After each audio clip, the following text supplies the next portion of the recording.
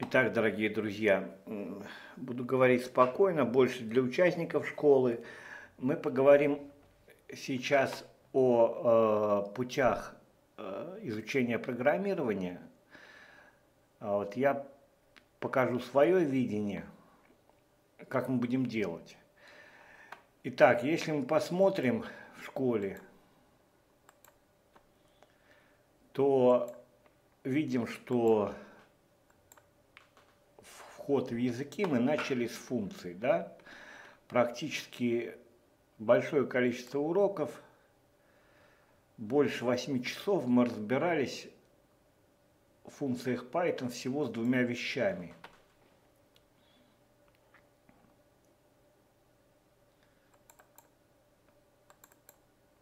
То есть работали с параметрами и вызовами всего лишь. А почему начали с функций? Хотя до этого я давал языки э, по-разному. Много лет я обучаю программированию. Э, давал по, по примеру, как э, по методике Луца, она неэффективна. Когда, это как дают большинство школ, э, это сначала типы данных, потом то, то, то, и потом в голове разброд. Человек открывает реальную библиотеку, э, начинает писать, и оказывается, он понимает, что он вообще ничего не может написать. А потом в группе, когда я занимался с ребятами, как-то вот так отдельно подсказывал, всегда направлял на функции. И э, пришел к тому, что работать надо с функцией. Ну вот, э, давайте поговорим вот о чем. Поэтому мы начали с функций. Э, здесь э, простое правило. Если хочешь водить машину, бери доводи. Почему мы начали с функций? Э, я объясню очень просто. Ребят, какой бы вы код ни открыли, весь код будет писаться либо на функциях, либо на классах. А в классах методы – это те же функции, только там с одним аргументом. Но все правила для них действуют, как для функций. То есть, по сути дела, первое, что нам надо, это изучить функции. Я э, вас попрошу записать. То есть, когда вы будете проходить вот эти вот уроки по функциям, очень важно, чтобы у вас произошли следующие три вещи – считание, считывание параметров на автомате.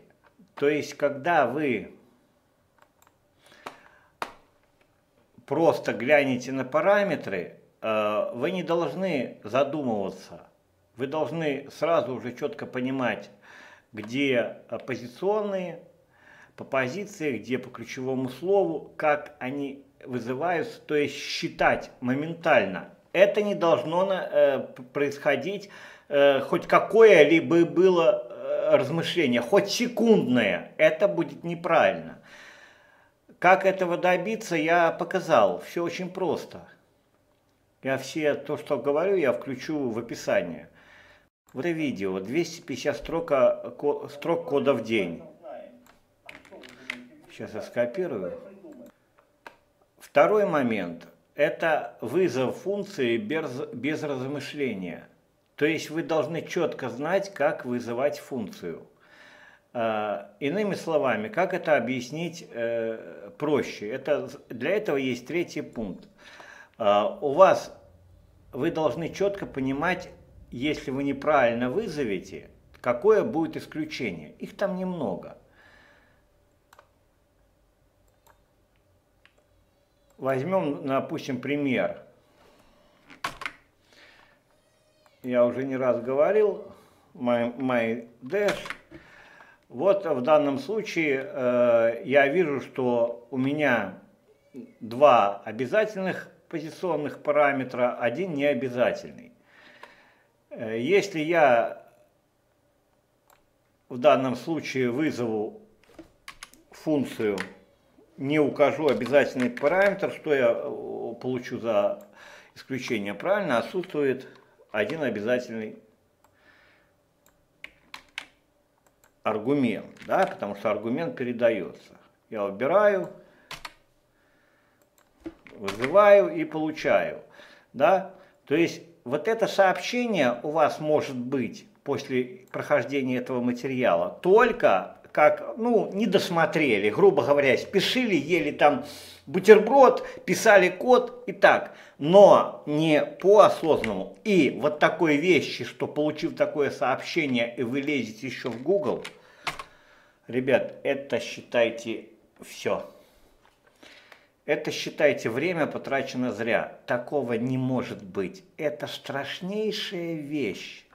Вот поэтому я и сделал эти уроки очень подробно.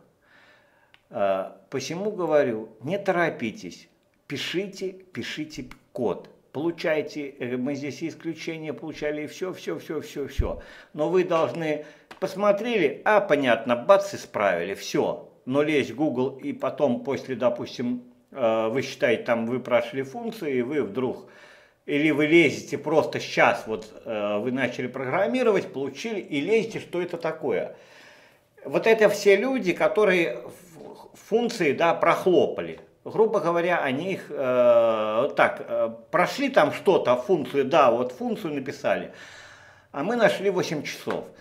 Почему мы так делали, ребят?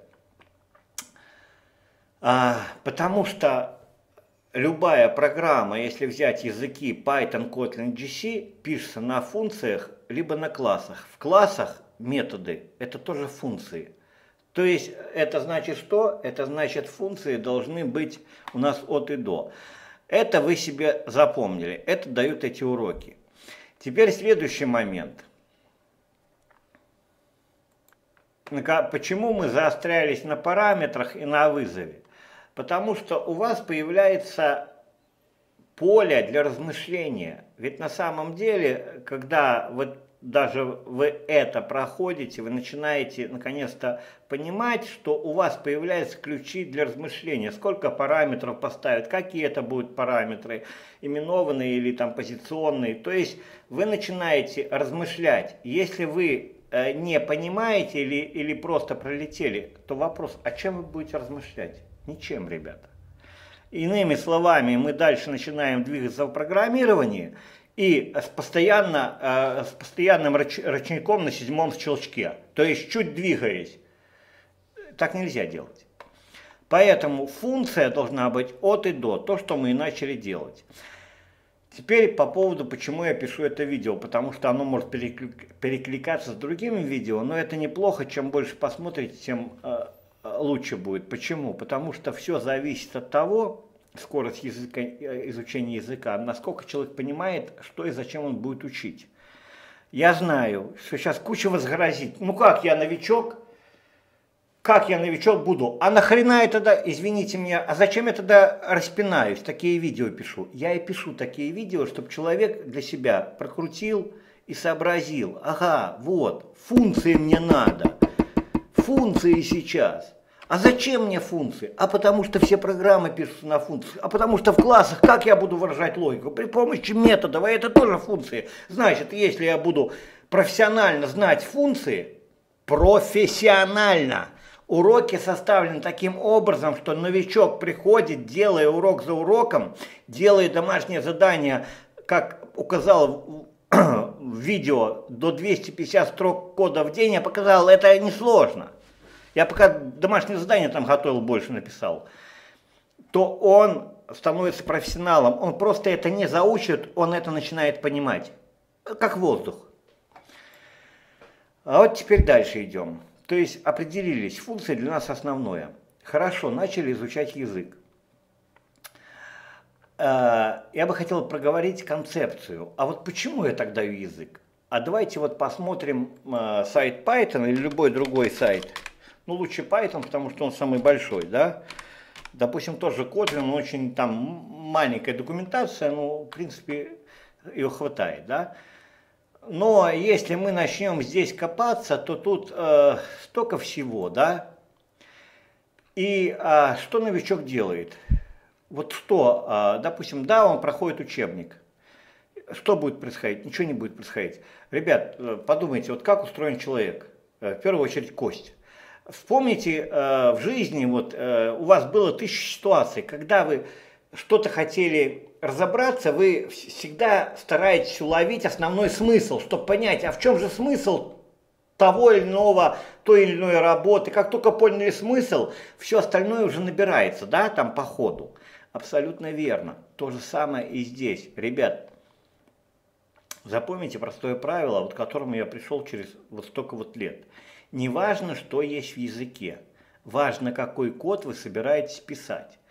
Например, э, например, например, чтобы не терять мысль, Например, сейчас вот я сюда перейду. А, нас же интересует правильное написание кода, красивое, грамотное. Значит, а, правильно учиться у кого? У профессионалов. Вот а, один из проектов, который мне очень нравится, это человек здесь, и вы можете участвовать, если хотите, со временем. Это личный проект, проект одного из разработчиков, одного из разработчиков Django человека, который э, э, компетентен во всех частях Джанга. А Джанга код даже смотреть, там смотришь, я вот показывал ребятам, очень сложный, все на метаклассах. Но тем не менее к этому придем. Э, возьмем, ну, этот проект, проект развивается, только э, возьмем исходный код, возьмем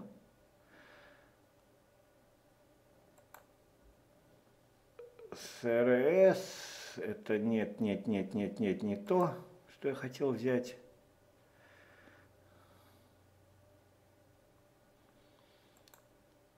Контрип не то.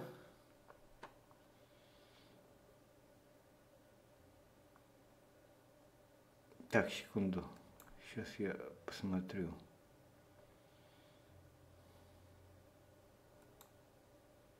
Вот, кора, ядро, вот тога, да? Ну, это сам продукт. Ну, допустим, берем первое. Во-первых, э, мы смотрим, как человек пакует каталоги, да?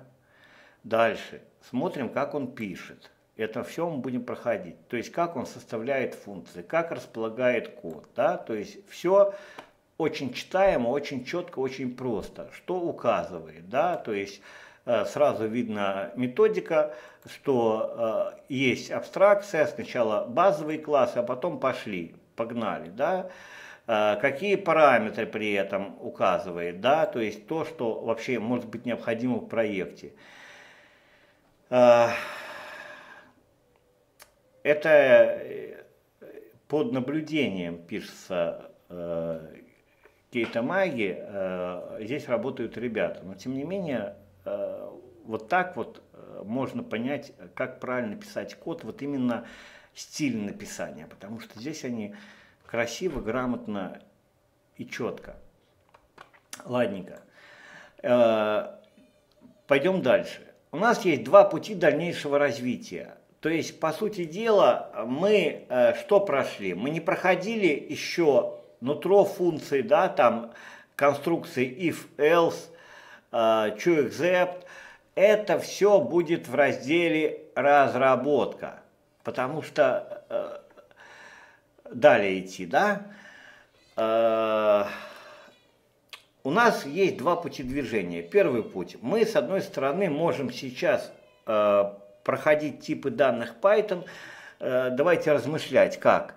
Вот есть э, задача, функции она выражается при помощи определенных типов данных, да, а, то есть при помощи там списков, словарей и так далее. Но тем не менее, мы с вами много касались типа данных, пока не изучая их, отложили на позже, потому что они, в принципе, интуитивны.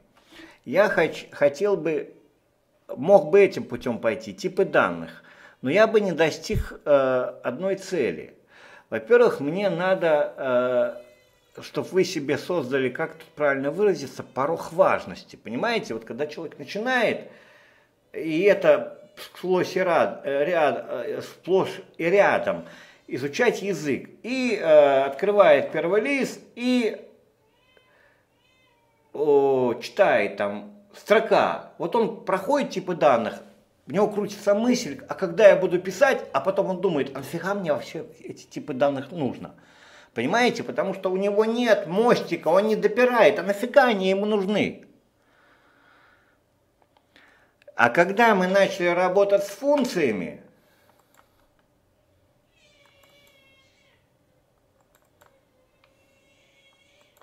а мы с вами, когда изучали функцию, уже на интуитивном уровне все равно использовали переменные и такие типы данных, как строка, они нам интуитивно понятны.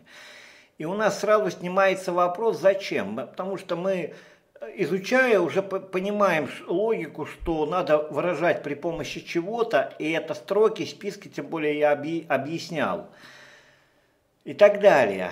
И у нас, у, у человека, который изучает эти уроки, у него, соответственно, формируется нормальное понимание, ага, мне надо еще изучить типы данных. То есть вот это зачем стало на место.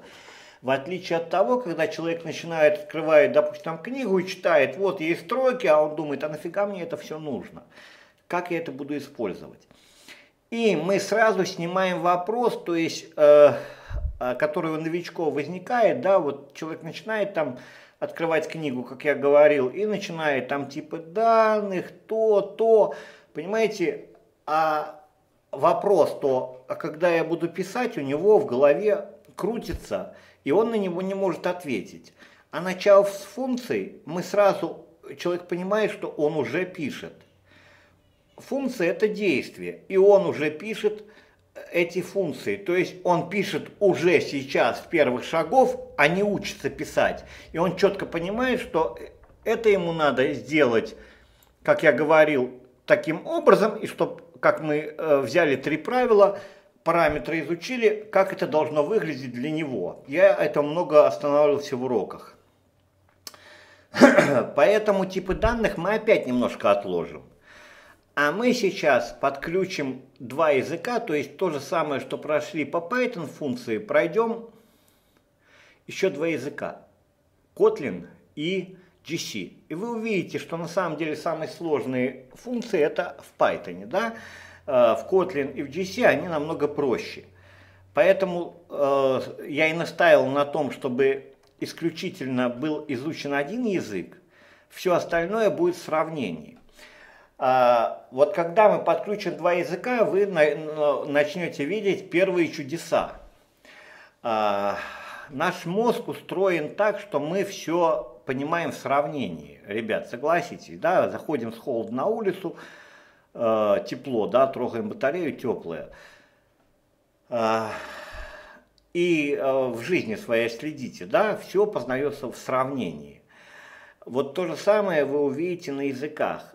То есть э, каждый язык будет вытягивать. При этом, как я показывал, мы изучали когда функции Python, э, а изучали мы много уроков, вот только начинали, когда изучать все,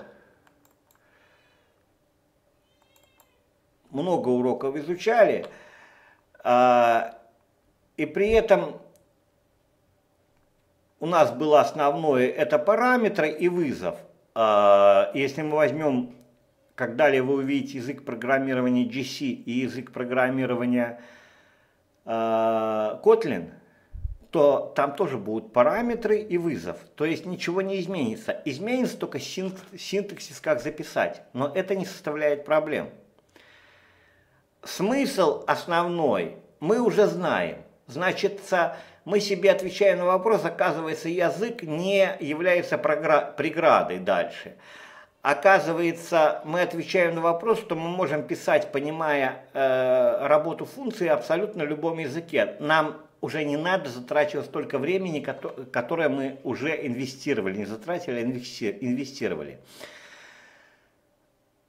Но это еще не все. То есть опять это идет подготовка. Я хочу, чтобы вы начали мыслить именно на сравнениях, потому что это и даст вам э, сильный, э, э быстрейшее развитие вообще в программировании.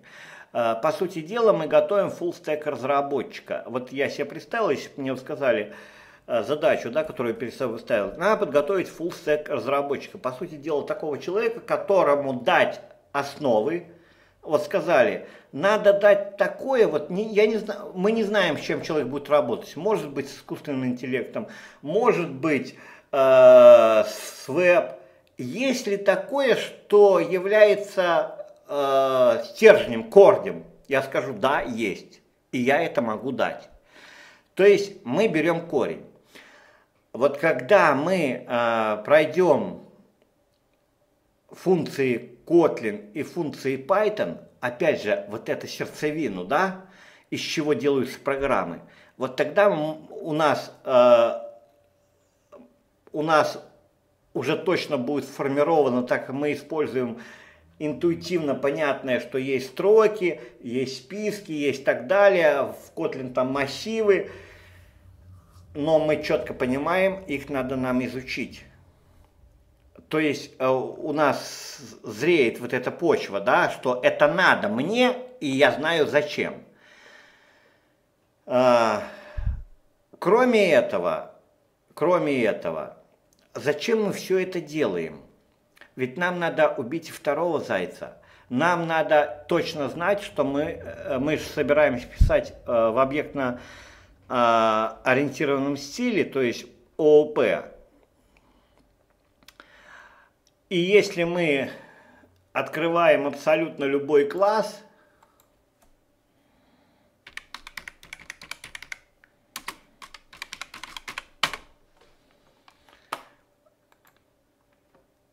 классы Python, да, то мы видим опять знакомое нам слово def, да, то есть э, ключевое слово def, которое обозначает функцию.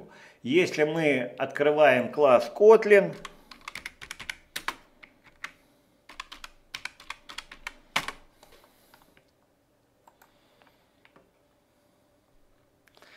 то опять же э, мы э, начинаем э, видеть переменные, мы начинаем видеть фан, да, опять функции в классах. Если мы открываем классы GC,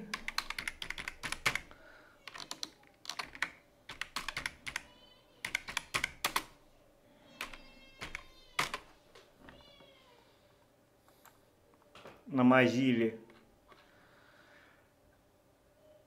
то опять мы видим, как Kotlin var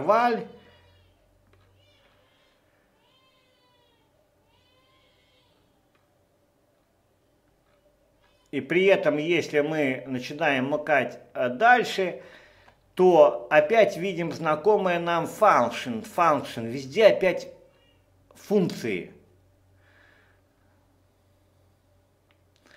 Function, function.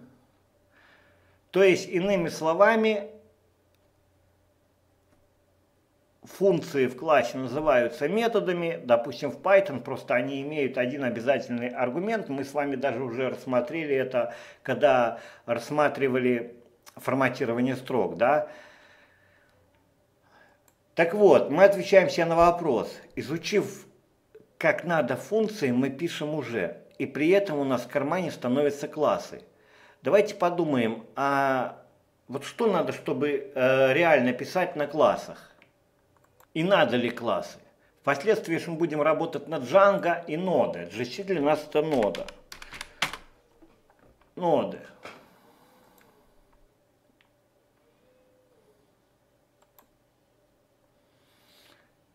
И если мы, допустим, открываем ноды, вот э, да, то мы видим опять класс, класс, и дальше пошли методы.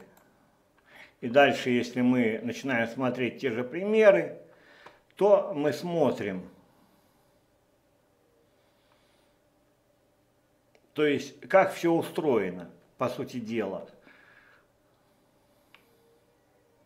Ну, здесь видим константы, все правильно. Ну, значит, более удобный пример сейчас просто найдем. Да, вот смотрим, тут же так, такое, как и э, в Kotlin, э, встроенные функции, маленькие, потом большие, принцип верблюда, да. То есть опять видим методы, методы, методы, то есть функции. и их э, у нас э, к тому времени, как мы придем к тому же нода, не вызовет проблем. Иными словами, для того, чтобы мы могли нормально работать в ООП, э, первое, что нам надо, это э, опять отработать функции. Мы с ними до ООП уже отработаем. И по сути дела, э, когда мы придем к ООП, у нас будет уже понятие, то есть метод, нам только надо будет писать. К тому времени после как мы сейчас пройдем функции добавим Kotlin GC, мы переключимся сначала на типы данных. Все остальное, импорты, это уже будет естественно подключаться. Например, как в последнем уроке, э, последнем уроке мы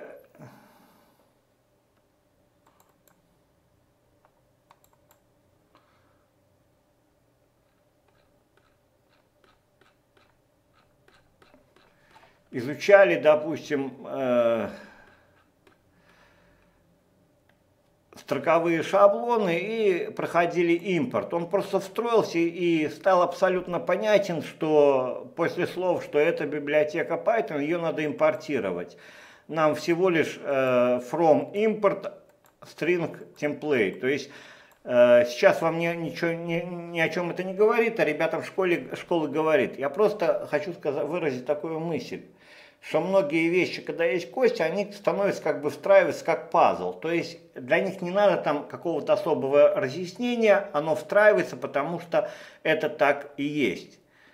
А так и есть. Почему? Потому что если а, какой-то объект находится в одной папке, какой-то в другой, то, наверное, в эту папку надо, по крайней мере, указать путь. Поэтому все логически. Так вот, э, когда мы изучим функции, у нас уже э, получается, что само написание классов у нас в кармане, так как логику классов мы будем описывать при помощи функций. Если э, вот мы ж, сама концепция, вот я тут быстро ссылку любую нашел, и просто мне тут, чтобы в Википедии не искать, вот, тут уже человек до меня нашел, вот, допустим, открываем там объектно-ориентированное программирование. И по сути дела, само понятие объектно-ориентированного программирования, оно одинаково для всех же языков. Почему? Потому что оно живет само по себе. А, дальше. А, само понятие а, наследования, которое мы будем изучать, инкапсуляция, абстракция – и так далее, оно тоже, эти понятия живут сами по, сами по себе. Самое широкое применение имеет Python, поэтому его стоит изучать первым. Строгое, но практически все имеет Kotlin. GC э, тоже имеет э, все принципы ООП. То есть, опять, по сути дела, а, начиная с Python, концепцию можно пройти, ну пусть там две недели, да, по сути дела потому что само по себе э, понимание наследования, оно кода не дает. Оно дает понимание, как мы можем написать наш класс. А э, в любом случае при помощи методов, то есть тех же функций, мы пишем нашу логику. Значит, давайте мы сформулируем себе задачу, поставим, а как же нам изучить ООП для практики. Ну, во-первых, давайте вот одну из моих любимых будем применять. Я подумал, мы при, примеры на Киви напишем. Ну, давайте Киви откроем. На, Киви, да, на Python. Там интересные есть вещи, много примеров. А, на Киви, да, это вот документация. Ну вот возьмем слой. И э, мы видим определенное название. Ankle layout, box layout, flat layout. То есть, ну, грубо говоря, как отображать на экране. Да? Но тем не менее, э, что мы видим? Это у нас классы.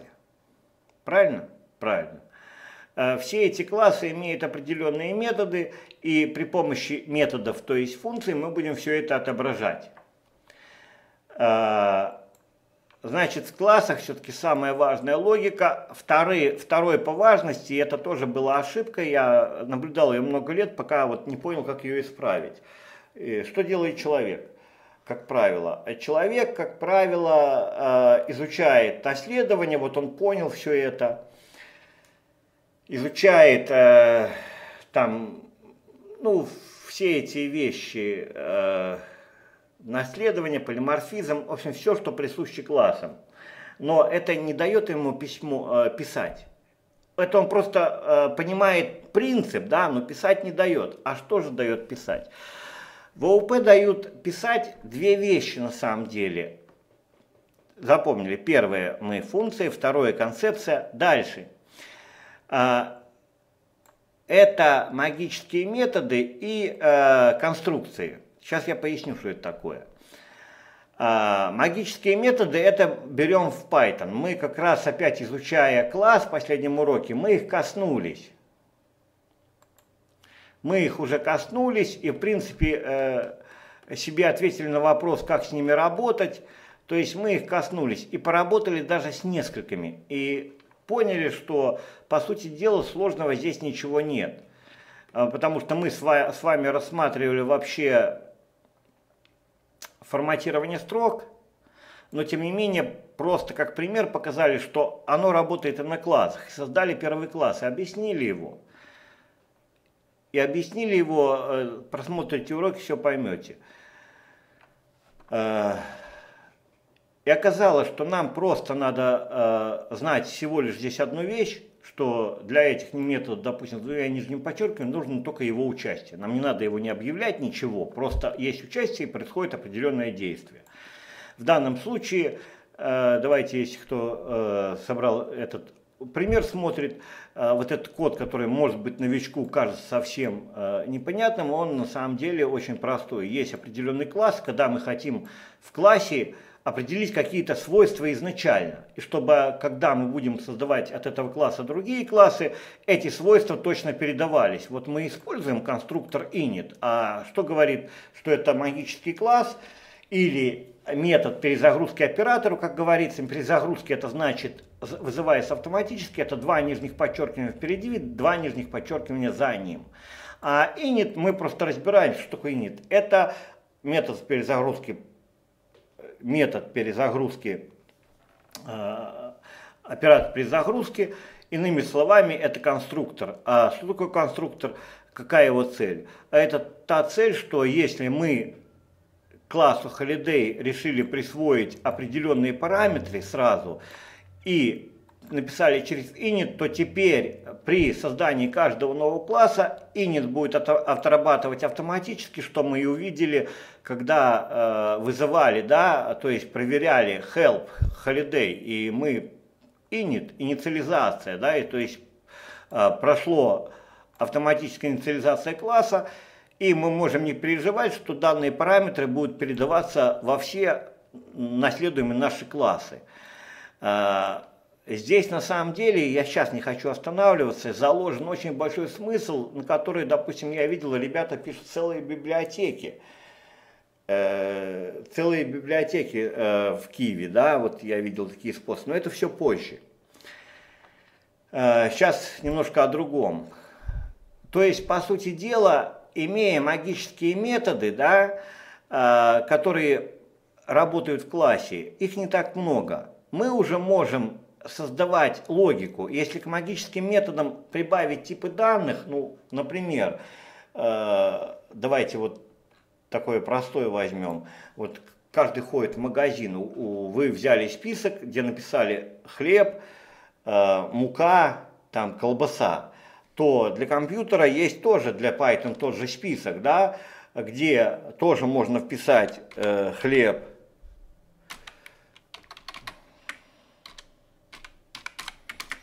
хлеб,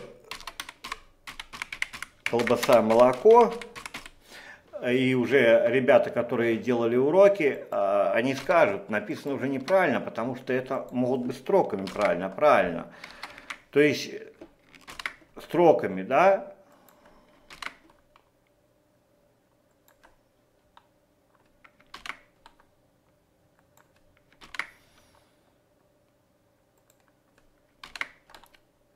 Все как в аналогии с жизнью. Если в руках идя в магазин, вы держите бумажный список, в котором написано хлеб, колбаса, молоко, э, то э, для того, чтобы передать это компьютеру, есть тоже э, в Python тип список, который обозначается квадратными скобками, и в который можно вписать, если мы хотим, э, как строки, то есть это значит двойные или динарные кавычки, мы тоже вписываем.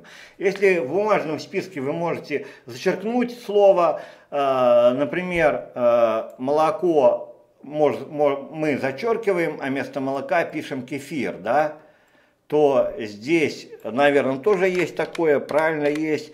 Здесь при помощи определенных методов, которые доступны, опять же, это те же функции, да, мы можем добавить, удалить элемент, дописать новый и так далее, и так далее. То есть, по сути дела, аналогия жизни не меняется. Но если мы вот дальше изучаем вот эти э, данные, то и изучаем магические методы, да, потому что большинство людей думают, а нафига они нужны. А, но тем не менее я уже это проговорил, и дальше мы на этом остановимся. Магический метод, э, ну это так называют, а, вообще это метод перезагрузки операторов, его не надо вызывать. То есть в коде достаточно его просто участия. Если мы написали метод э, с двумя нижними подчеркиваниями, то он уже для нас что-то сделает. И здесь вот я э, приводил, допустим, пример. Есть э, str есть э, AirPy э, метод.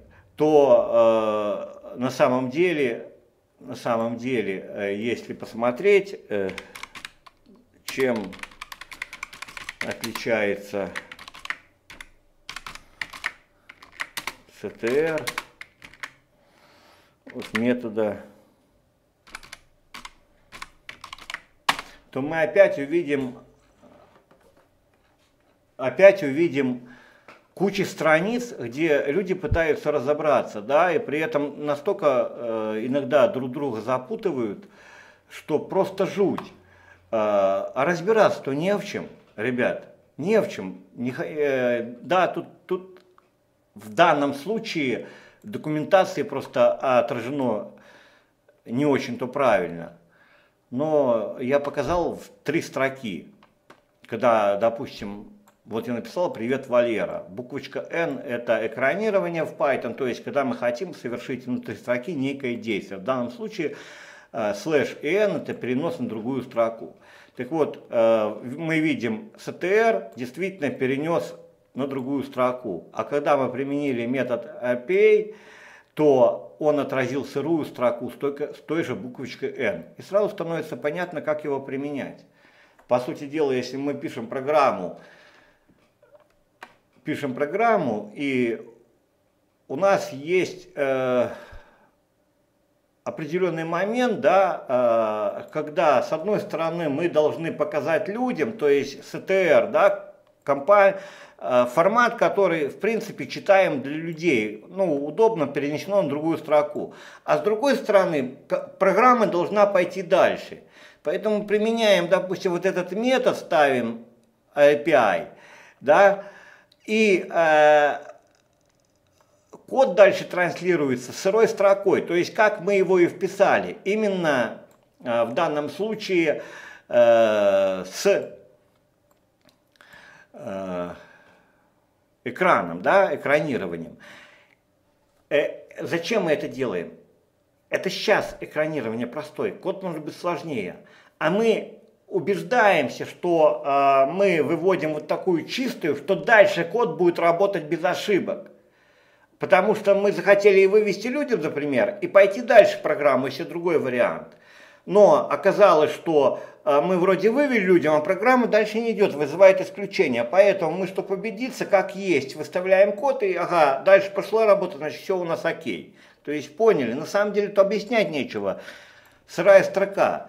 А видите, люди настолько иногда э, не могут разобраться, в этом не их вина. Я тоже много э, не понимал. Со временем все приходит, конечно. Но с другой стороны, это требует изучения, ребят, чтобы не было этих вопросов. То есть Поняли, да? Есть определенные методы, а в других языках есть э, встроенные методы э, и так далее, и так далее. И следующий основной, который идет для всех языков, э, чтобы писать на ОП, это я называю конструкции. Да? Э, наверное, это только мое понятие, потому что, ну я скажу, что я под ним понимаю, но вы меня, я думаю, поймете. Э, начну сдалека. Вот открыл панда специальный исходный код. То, что нам тоже будет интересовать. Просто это очень интересная библиотека, которая написана довольно круто. Да? Тут тоже можно многому чему научиться. Так, чтобы мне ее не потерять. Ребят, начну сдалека. Итак, смотрите. А, когда человек, э, просто прослушайте, возможно, это немножко скучновато, но этому есть доказательства. Когда человек пишет э, в пределах функций, да, в пределах класса одного функции, неважно, но пишет код, где он понимает, какое действие должно произойти вот именно сейчас. И человек вот учится, пишет, пишет, пишет, и э, что у него происходит? У него происходит, э, он уже начинает хорошо писать, а потом он не знает, что делать дальше. То есть э, надо переходить на следующий уровень. А что для этого уровня надо? Он не понимает. А на самом деле все банально просто. Ответ вот здесь и есть. Конструкции ООП. И паттерны, не или паттерны. А, Паттерны, по сути дела, сейчас поясню, паттерн для облегчения. Иными словами, паттерн это шаблон, да, то есть э, люди придумывают шаблон, допустим, Django э, модель представления контролер, то есть это есть э, шаблон, вот так вот э, устроенный э, данный фреймворк, да, фреймворк это заготовки, значит. Но ведь э, этих конструкций больше, есть миксин, есть декорактор, есть абстрактные классы, интерфейсы. А, я проводил в школе эксперимент, и он был очень успешным. А получился эксперимент а, благодаря, благодаря естественной работе еще в старой школе Сергея Осадчева мы э, в дальнейшем полтора месяца разбирали всего одну тему – отличие абстрактных классов от интерфейсов. Это занимает где-то полстраницы э, на страницах интернета, да? но мы нашли полтора месяца. А, правильно, а, я посмотрел, Сережа э, писал уже код, хорошо, в пределах класса, функций, все быстро. А потом говорит, а что дальше делать? Ведь мир такой большой, и вот здесь требуется перестроение мышления. А, когда я ему сказал, а, изучай паттерны, он начал, забросил. Правильно. Потом я ему предложил, давай напишем, опишем какой-то завод. Но мне же надо как-то привести человека к тому, чтобы он начал как-то интересоваться абстракцией. Он на том этапе абстракцию вообще откидывал. Вообще откидывал. А зачем она нужна? А, полтора месяца я ему задавал один, один и тот же вопрос. Да чем все-таки отличается абстрактный класс от интерфейса? А, долго мы копались, но докопались. А, в результате э, на паттерне, потом на шаблоне, да, я задал задание описать улицу Витебска. И после вот этих занятий э, многие ребята начали присылать домашние задания. И все сделали грамотно. То есть улица, город, для них стало описать в языке это легко. То есть они уже не видели свою жизнь без абстракции. Но чтобы это начало происходить, чтобы это начало происходить, а вот тогда они уже начали присылать, да, А, не, не, это Игорь.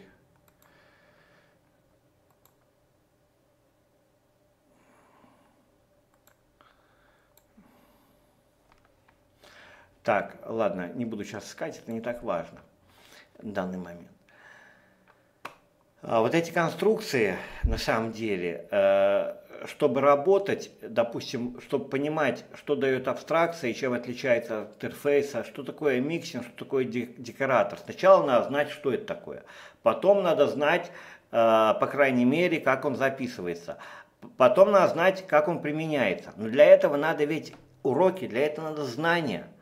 Понимаете? А, вот тогда, когда появляются вот эти понятия, вы становитесь, у вас другое мышление. То есть вы сначала мыслите, как построить приложение, а потом то, что вы раньше делали, занимались в языке с этими, э, с типами данных, да, вы начинаете при помощи этого уже писать логику, то есть у вас подключается второй тип мышления. Но чтобы это мышление появилось, по минимуму надо хотя бы с десяток, с 15 э, изучить конструкции основных, которые есть во всех языках. Например, ту же абстракцию ее применения. Да? Э, и тогда становится все на свои места.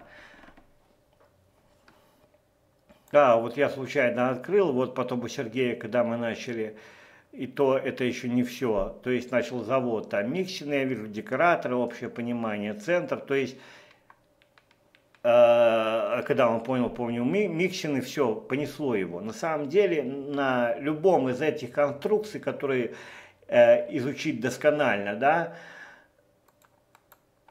можно выстроить целые приложения. Но э, надо знать хотя бы несколько. Хотя бы несколько, но знать досконально. Потому что опять э, появляется то, чем размышлять. Если э, мы э, планируем, вот подумайте, э, вот у вас есть цех, да? Э, вот э, вы можете сходу сказать, э, у вас есть цех, где 800 станков, где есть куча оборудования – и при этом э, вам надо его описать. Стройно, понятно и вместить все. И вы знаете, что большинство людей начинает писать классы. Вы же не опишете каждый станок. Ну, на каждый станок. И вот тут на помощь приходит что? Интерфейс.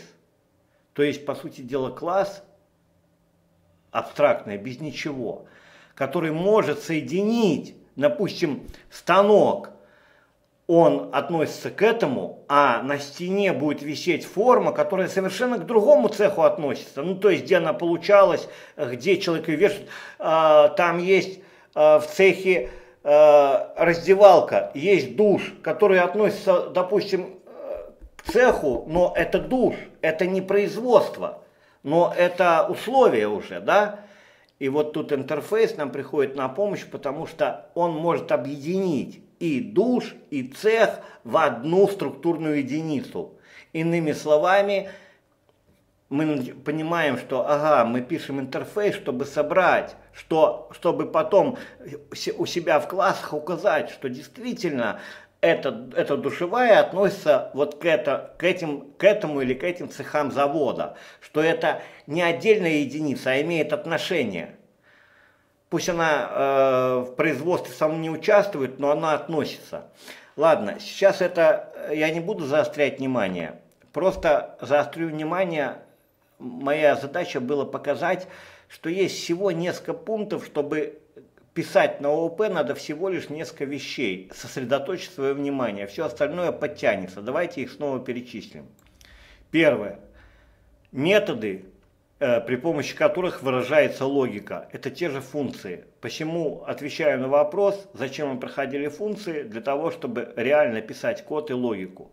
Сама логика выражается, э, функция закладывается при помощи типов данных, да, которые мы э, с вами будем изучать и будем изучать подробно. То есть выражается, если как мы говорили в примере, да, что мы идем в магазин, у нас есть бумажный список, Э, в котором написано там молоко, купить хлеб и так далее, то э, в языке э, программирования в Python список так и называется, там в Kotlin будет массив, допустим.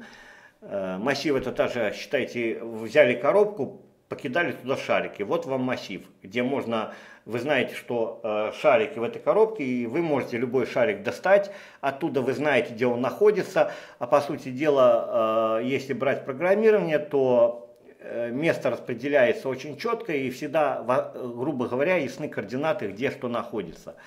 Просто